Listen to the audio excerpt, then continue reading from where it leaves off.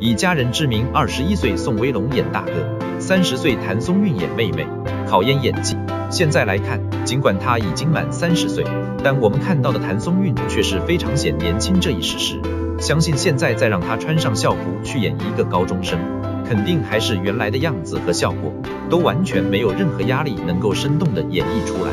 以家人之名阵容配置深得人心，由三位年轻偶像主演，九十九年的宋威龙饰演的大哥，九五年出生的张新成饰演的二哥，和九零年出生已经三十岁的谭松韵饰演的小妹妹。